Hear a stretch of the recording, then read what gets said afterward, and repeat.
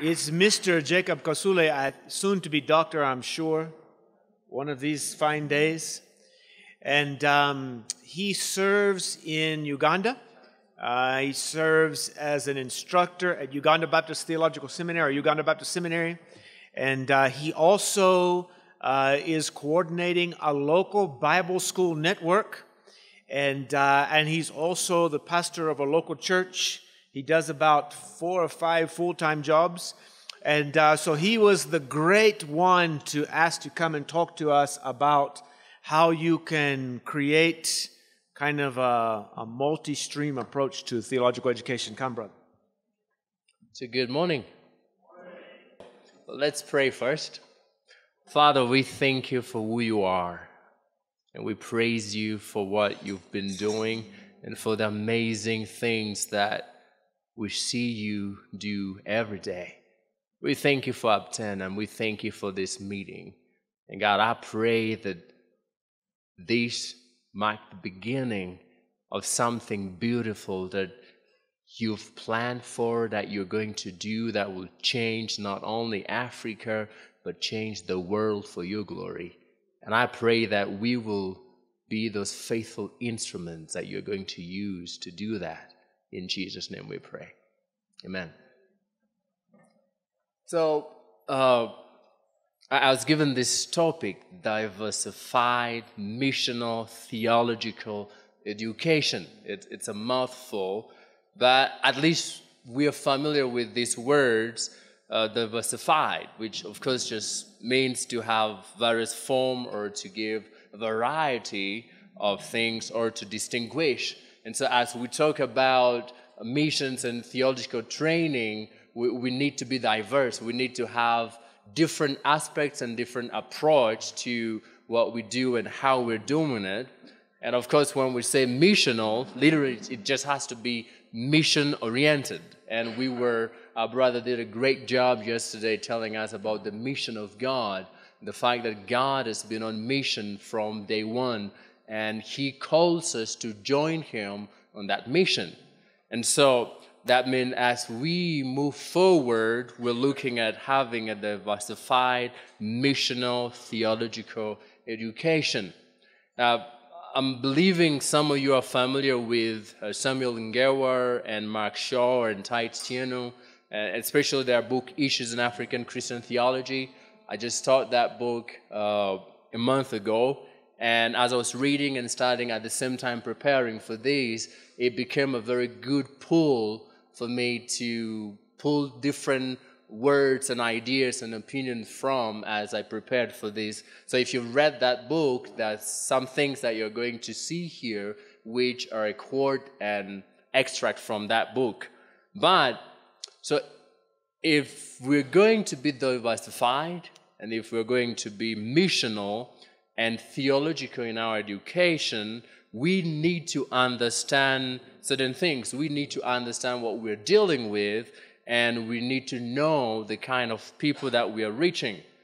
And so that means we need to first look at a Christian believer in Africa. And, and a believer in Africa struggles with certain things and deal with certain things. And we're going to see that one of the most difficult thing with being a Christian in Africa is that we are faced with an ever changing society. Society is changing, a lot of things are changing, and, and the most difficult thing, however, is that an African believer has to deal with three different worlds. And so every follower of Christ in Africa is stuck with what do I do and how do I fit in this world. And so the first world is, is what we call the world of the Christian faith, right?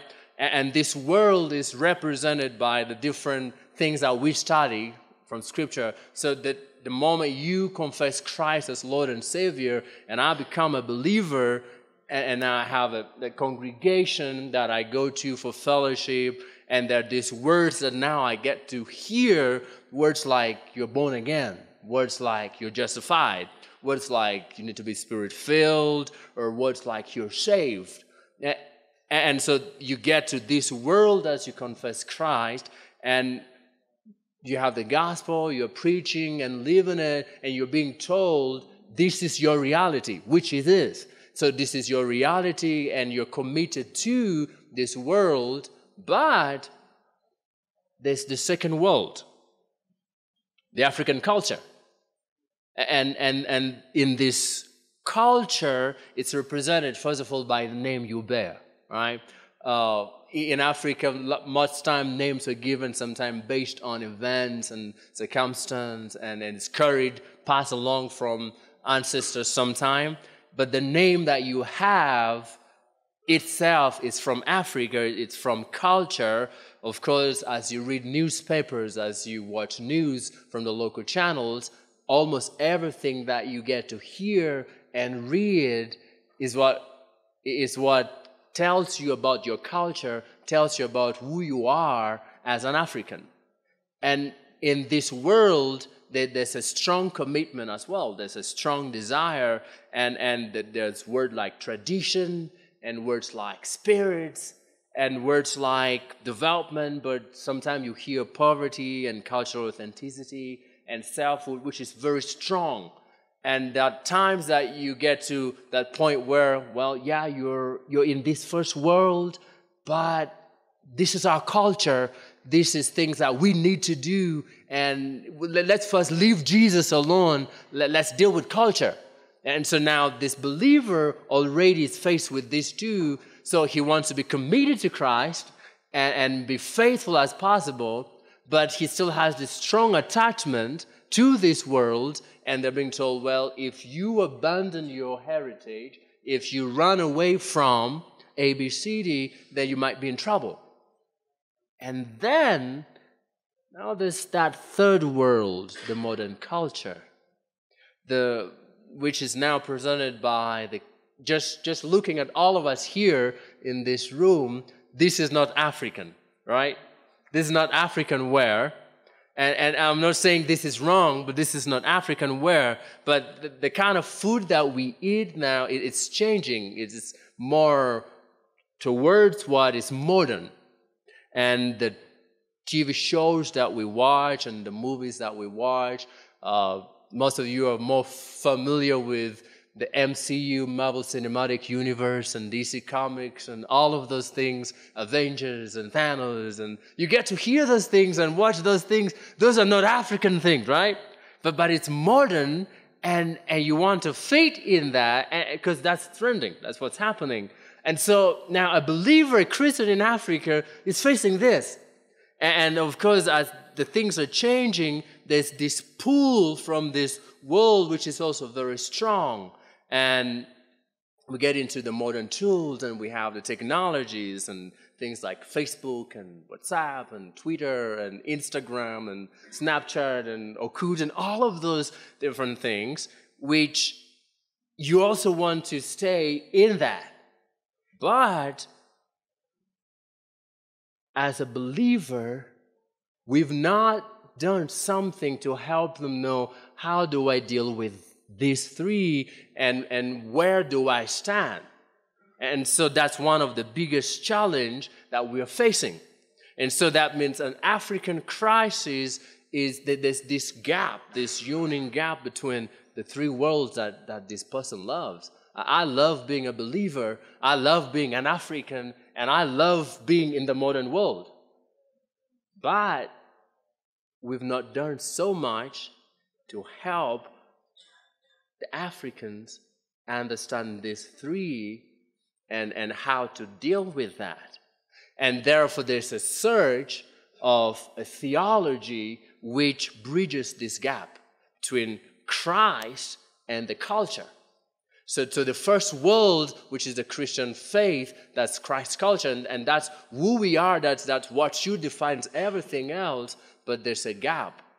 And, and so, there's a search for an African evangelical, and I, I just put that in the bracket.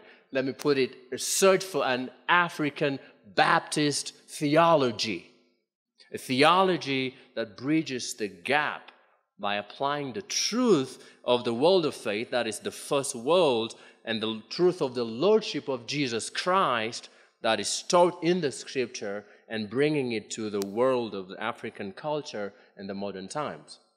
And so, as, as we talk about being missional, as we talk about training in diversity, we need to know how to train because as we look at Africa, this is what's happening. This is a reality for a believer in Africa. And we need to get to now that point where we're presenting the truth of the scripture into both of these worlds the, the African culture and the modern world, and then allow the Word of God becomes the filter for that. So, how then do we deal with this? Because this is what we're, what's happening, and, and, and it's a reality in Africa. How do we deal with that? And I believe that the answer to that question is in this room. I believe we are the answer to that question of how do we deal with this, of what do we do, we are the answer. And I say we are the answer because we are the one with the torches. Dr. Kevin was talking a while ago here as he was casting the vision, and he mentioned that. We've been entrusted with something so precious. All of us in this room represent thousands of people and stand here on behalf of people. But, but God has uniquely called us all here and given us a huge responsibility to be His representative. And I, I like quoting Second Corinthians 5, but when you read from verse 18 and 19, Paul says, Therefore, we are ambassadors of Christ. And it says, and God is making his appeal through you. Therefore, that's why we're imploring you to be reconciled to Christ. And we were here are the answer to that question. How do we reach everyone with the truth of the gospel? How do we reach everyone in Africa and then get into the rest of the world with the gospel? We are the answer and that's because also we are the theological educators in this room. That means if we don't do something, that struggle will continue being a reality and that will continue haunting us. John Mbiti said something that I read, I was like, that's strong. So, John said the Christians in Africa have faith but not a theology. And yesterday we were reminded of another quote that the churches in Africa are a mile wide but only a few inches deep. And when you put those two together, well, this you could probably say this is debatable, but if this is true, if those two statements are true, then there's something. Then there's a gap, then there's there's work to be done. And so what do we do? I believe that every pastor needs training. Every pastor needs training. But you probably recognize this on the left, and you probably recognize the other building. Some of you do, but you don't recognize this one. Most of you, because you, you, you probably don't know where I took that one from.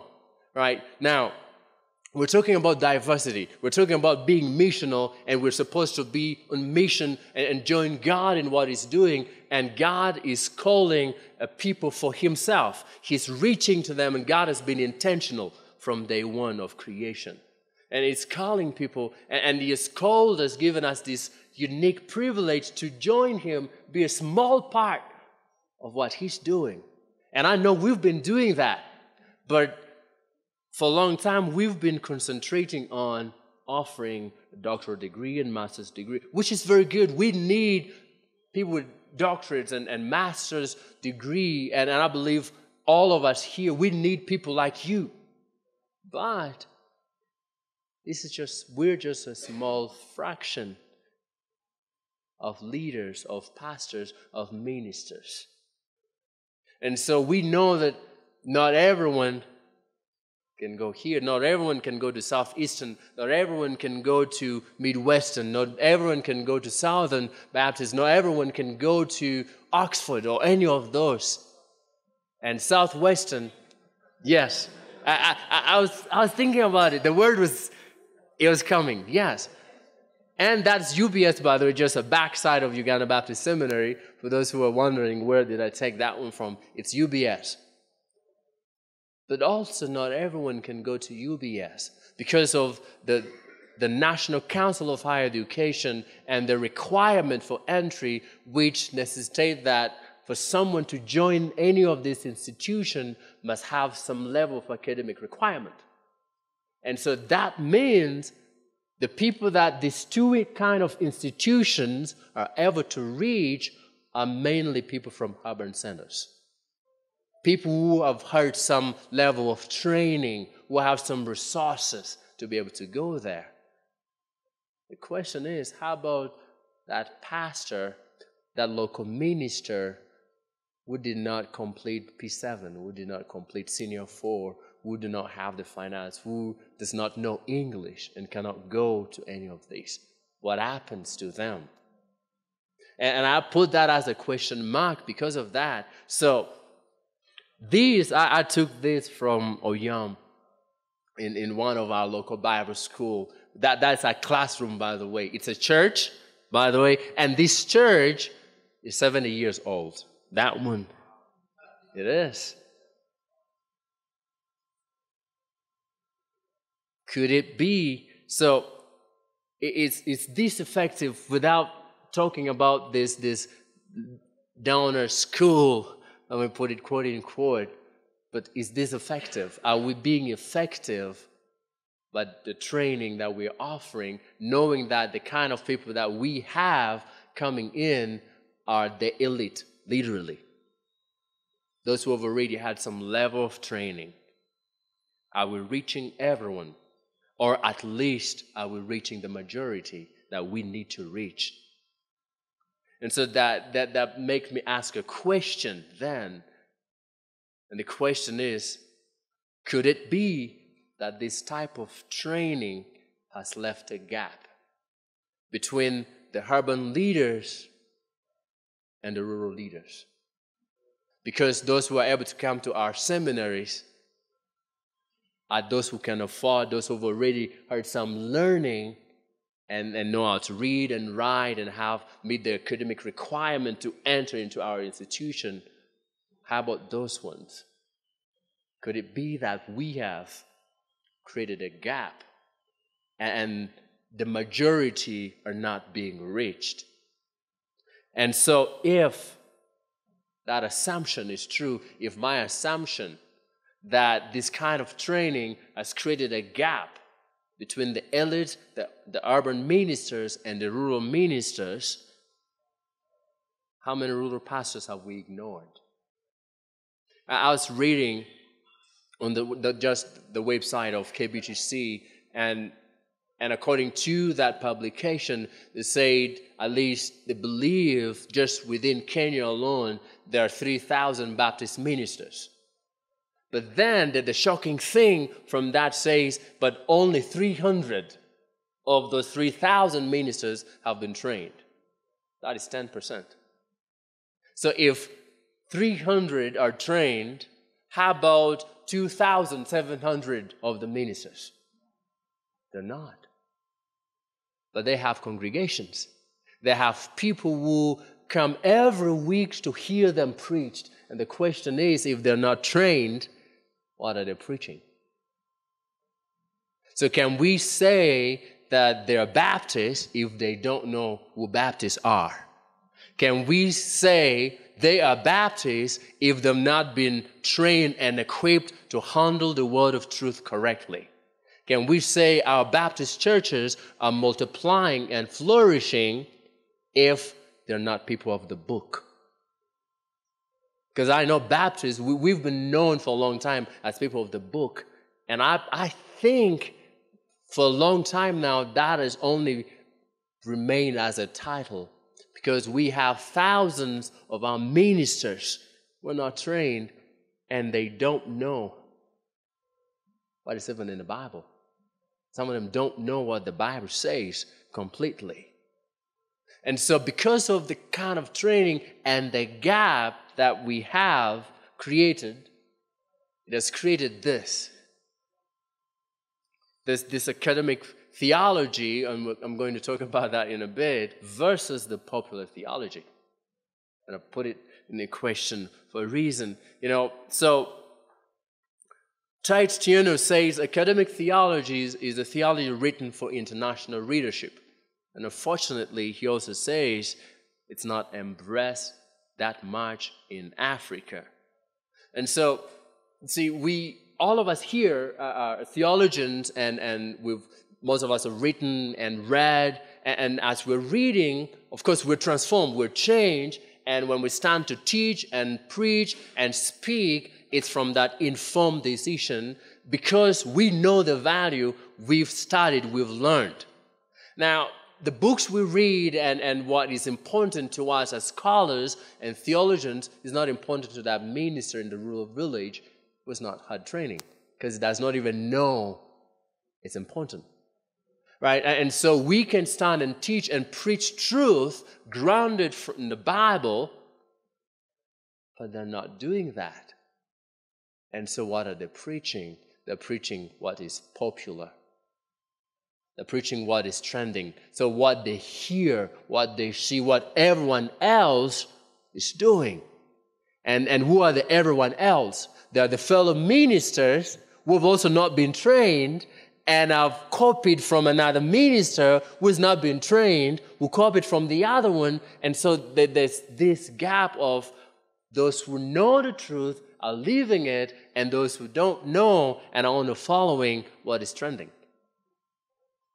And that's, I believe also that's why the prosperity preaching and the false teaching is becoming more and more prevalent in Africa because most of our ministers are not trained. And as these people come, of course, the prosperity preachers and the false teachers have their way of communication and they know how to get to radio stations and television stations. And so they're in our homes, in, in the members' homes, in, of course, in the hands and TVs. And so that's what they see, and that's what they hear, and that's what they copy and paste into the congregation. So that's what's counting. That, that, that's what you hear in the songs that is being sung, and that's what you, you, you feel as he's preaching, the kind of counsel that is given. It's becoming, sadly, that even in the Baptist churches, some of our Baptist churches, uh, we're beginning to hear the preach, the, the, the, the sow a seed and claim it and grab it and push, you know, pray until something happens. You know that? It's sad, it's, it's now getting into Baptist churches. What happened to us being people of the book? Well, one of my members went into the village to visit relatives, and and someone who was there preaching used abused the word so much, and of course he wanted to get his way into the pockets of the people who had come, and, and he says, quoting the Bible, of course, says in the Old Testament that the ark of the covenant, that that box was just not an empty box, right? There was something inside. And so, it, whenever you saw the box, the covenant box, you saw God, you saw something that, that that box represented. And then you say, We ministers today are that box. And so, whenever you see the box in front of you, make sure he does not leave empty. Because if he leaves empty, you have the curse of God. And so, as I come as the box, I come empty so that I can be filled. Hallelujah. And of course, those, those who did know were beginning to move and, and make sure the box was not empty, did not go back empty and emptying their wallet. And this member was sudden because they realized that's not true, that that's a lie. But the people there could not tell it's a lie because they have not been exposed to the truth of the Word of God. And this situation is alarming because popular theology is by no means always grounded in and governed by the scripture. And one of the sad thing is sometimes the, the counsels that the pastors give and the way they preach, sometimes it's totally opposed to the scripture interpretation of the word. What then? That, that's, that's the reality of what we are facing here in Africa. So, what happened? What then? What, what do we do? Where do we go from here? And I believe the answer is here also. We've seen, so, so that, that third building, the one you saw, that nice looking building, I believe this is important too. We, we need to be having those who are going to the seminaries and doing bachelor's and master's and doctorate so that they can help prepare those who can continue doing the local Bible schools. Because we've already seen that those who are able to come to the seminaries, just a small fraction of people, majority of our ministers cannot come to the seminary. And, and if we're going to be missional enough and intentional enough and, and doing what God has called us to do, one, in being disciple makers and multiplying and duplicating what God has given to us, then we need to be intentional and make sure every single minister, not only in Africa, and I hope all over the world, is trained. That's the only way. And I believe the only way we will be able to change not just our continent, Africa, but change the world is by having every single minister trained, whether they have the academic requirement or not, but giving them the truth of the Word of God. Because believe me, if you can train one person, and this person goes back to his congregation and is now able to preach the truth and stand on the authority of the Word of God. And the first thing he asks is, What does the Bible say? Believe me, you've changed that congregation. And when that congregation is changed, you've changed that community. And when community is changed, you're already changing that nation. One person at a time. And we need that. That that should be our focus as we go forward from here. Let's not neglect this. I believe that doing the local Bible school programs can help bridge the gap. We need the seminaries to continue. We need people to continue from the, their bachelor and go to the master's and go to the doctorate. But we also need to reach to those who may never be able to go to the seminary, even if they wanted to, because they don't know the language, they don't have the resources, or they don't have the academic requirement. But they're serving. We need to help equip them. And of course, the program that, that you'd have will have to be simplified enough to be understandable by the local pastors and leaders.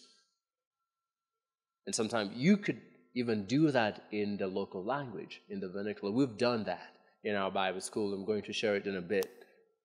You can have it in the local language and make it contextual enough that this pastor, as he's reading, you might not have to give him all those big hermeneutical terms, but help him know how to study systematically and interpret the scripture. You know, one of the things that as I teach and travel in different places, especially in Uganda, and, and it's becoming more and more probably African, is that the, the first question we ask is not what does the Bible say? The first question is what does our culture say?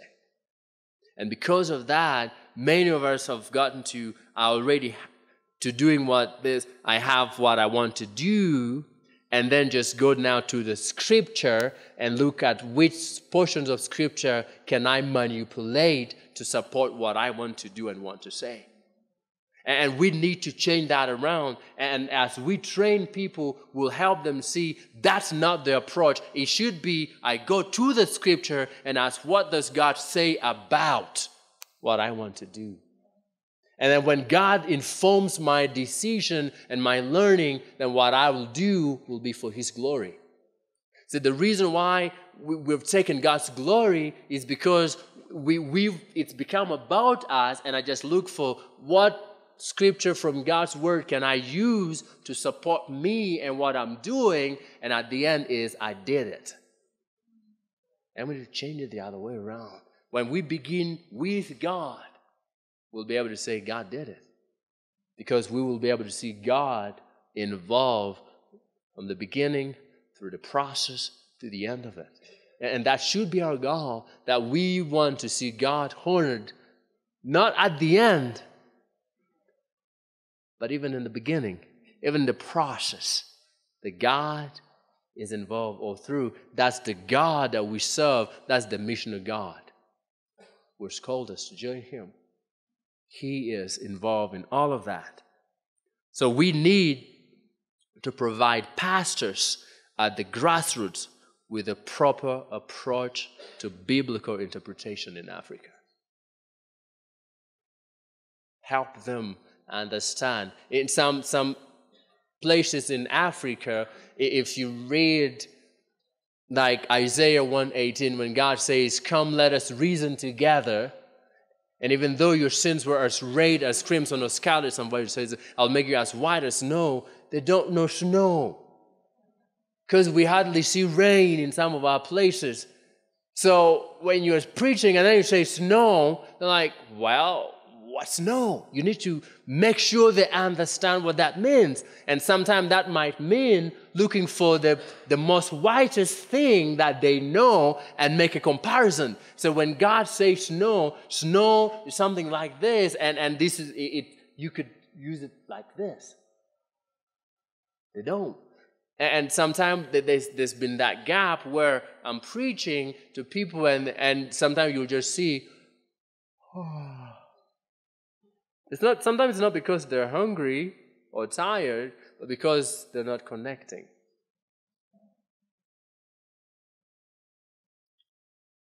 Teach them, even if it means in their local language. And by the way, that, when you speak their heart language, that transforms them more than you'll ever know. You know, sometimes people say, well, you see, the reason why we cannot do this, it's uh, they don't know English. Well, the reason for the local Bible school is not to go teach them in English, is to reach them in their place in ways that they understand. If, and if the only way they can understand is in their local language, teach them in the local language. Because at the end of it all is which language were you taught in? At the end is, have you been equipped and prepared in the Word of God to be able to go and preach it boldly with confidence and content for the faith? And we need to do that. Because at the end, when they go into their community, they don't start and preach in English. It's preaching in their vernacular, in their local language. And we need to do that. And secondly, the simplest village evangelist need to understand how to interpret the Bible rightly in context. You know, with people, people, it's so easy to abuse the scripture, and it's easy to make the scripture say anything you want it to say if you're not reading it in context. Like when you read 1 Corinthians chapter 7, just verse 1, just verse 1 alone, Paul says, of course, for the matter of which you wrote about, it is good for a man not to marry. Well, now, how many of you are married here in this room?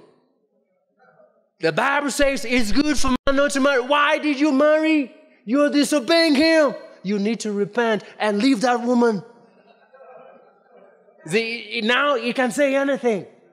But then again, if you just pull verse 2 and don't read verse 1 and don't read verse 3 and go down, verse 2 says, But because of the immorality and all that. It's good for every man to have his wife and every woman her husband. Those of you who are married, why are you disobeying God? You must repent now. Sister, since you're not married, I, brother, you might know. Perhaps right now the Bible says you must have a husband. Hallelujah. And now it says anything. And that's what's happening in some of our village churches, in our Baptist churches because they don't know scripture, they don't understand reading and preaching in context, they'll just pull the verse and then let it say anything. And we need to help them. Because we need to change everyone right from here and build that into even those who have the doctoral degree. We need to be in the stone removing business. You probably heard this. I don't even still remember that. Well, the good thing is, so some of you are like, you mean you came here and you had not prepared his presentation? Because this, you heard this yesterday, right? It's like, no, well, I'd prepared this some time back. Uh, John, Dr. Ewart and I have been friends for some good time. He's actually been my thesis uh, professor and one of my professors from Southeastern. And, and I know his passion and his heart. And, and that's why he mentioned that even yesterday. And that's why I was able to quote him. And if you remember what he said yesterday as he preached from Ezekiel and Isaiah in but then mentioned Nehemiah. See, as these people were returning, of course, again, I, am I'm, I'm not repeating your sermon, Dr. Ewart, but as these people were returning, you know, remember that the city was destroyed and, and the roads are blocked. And, those who were returned first, God gave them the task. Remove the stones, make the path clear so that those who have not yet come can come in and join you. And, we are supposed to do that. We, we've we are here. We've been equipped. We have the tools, but there are obstacles, there are stones all over that's making those village pastors and leaders not to get the training that they need. And we need to remove those stones. And one, it is they cannot come to seminary probably because of finance, but mainly because they don't meet the academic requirement. So what can we do to remove that off the way? so that they get the training. We need to do that. And I want to tell you about what we do, just, just briefly in passing as, as we get to winding up. Uh, as East African Outreach, we, our purpose is to provide theological training for pastors and leaders throughout East Africa by offering a systematic foundational course to equip and establish Christian leadership even in the remotest part of the continent. I mentioned East Africa because we want to begin with Jerusalem. And, and we've, we've done a lot in Uganda. We've now crossed to Kenya. Well, right now, we we've, we've just been, uh, we're in Kitale on the other side near the Suam border and uh, just a bit inside. Hopefully, we'll be able to work more with, with our Kenyan friends and hopefully get into Tanzania and maybe even Nigeria uh, something bad. That, that's our goal. That's what we want to do. And we want to work with our Baptist associations. Normally, that's our contract, unless we go to places where there are no Baptists, but then we encourage others who are there. And we've seen that happen. There are times we've gone to a zone that is just Pentecostal, and at the end of the training, they're like, Can we start a church and call it Baptist Church? We're like, Please, hallelujah. Let's do that. We've seen that happen, and God has been faithful, God has been gracious. But the, the reason why we're intentional in doing the Bible school is it connected to how we all be, this began. In 2008, our, our, our founder, Terry Nestor, some of you heard about him, uh, was doing a conference. We're in Mbale, just more closer here. And this was a pastor's conference. And so, just as he was teaching and preaching, then he asked a question, very simple question How many books are in the Bible? Well, I, I hope we know that. But none of these pastors could answer that. And he first thought he's the one who was translating him did not do a good job. It's like, are you sure you're asking the question I'm telling you? Like, yeah. Ask again, how many books are in the Bible? No one could answer. And then certain after a while, one youth pastor stood and says, There are 69 books in the Bible. It's like, Are you sure? He said, Yes, Pastor, there are 69 books in the Bible. Pastor could not tell how many books were in the Bible. And after lunch, she just gathered 17. All of these were pastors, and this was, this was one of the shock. One of those pastors so, so this was May of 2008, but one of those pastors had gotten saved in September of 2007. And now he's a pastor. Barely a year in salvation. Not discipled, and he's pastoring. That's when we saw That was a big gap.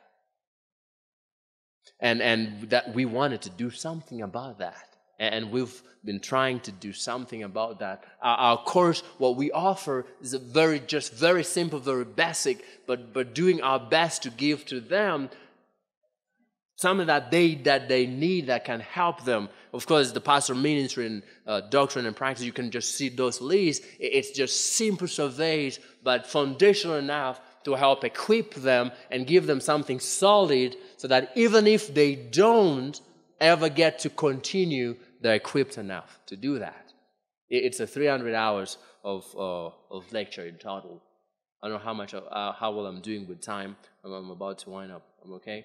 So, our classes meet now this, this is why it's doable this is why your seminaries can do that why your churches could do that for those of you who are here we, our classes meet only one week a month monday through friday but of course intensive from 8 in the morning to 5 in the evening every day for that week one week a month for 10 months and the 11th month, those who have completed that, that list of courses and completed all the requirements, we graduate them.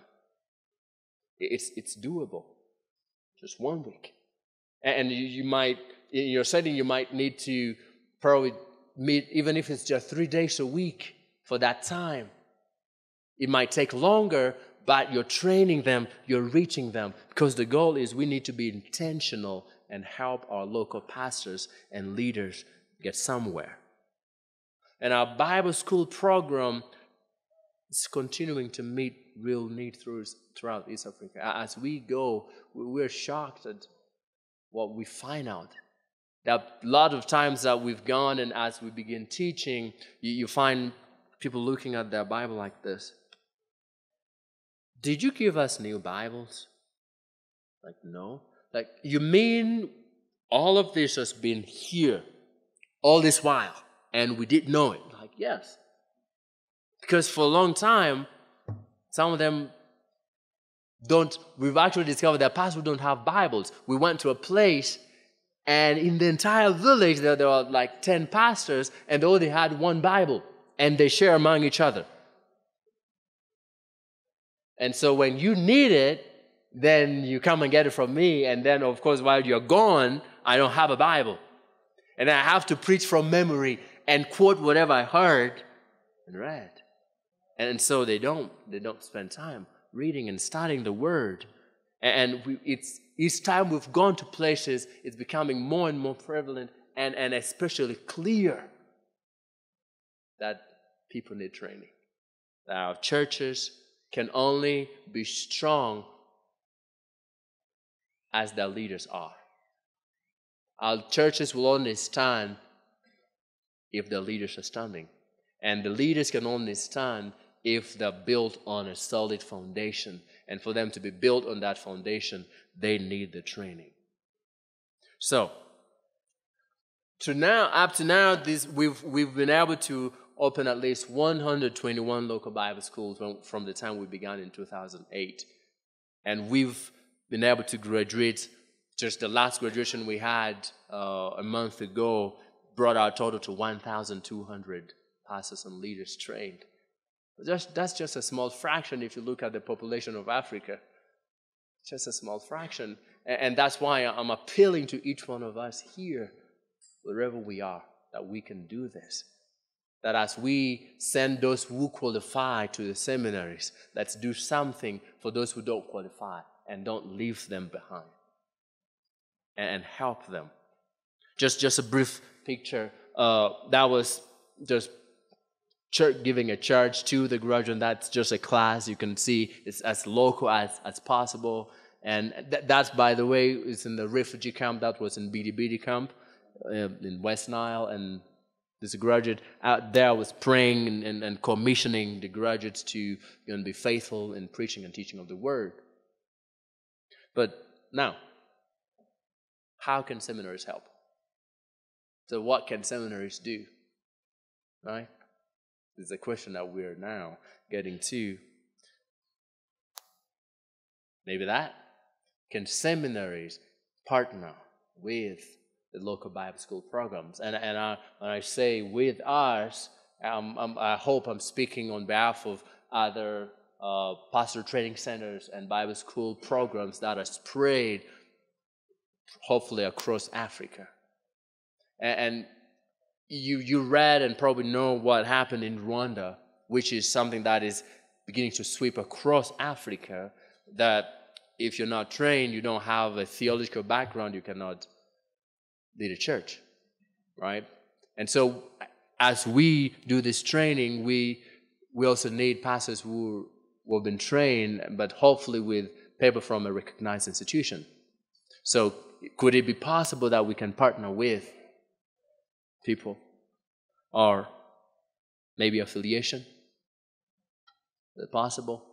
Just throwing those things to us, seminary principals and leaders and deans. Or could you help with the accreditation process? God bless you.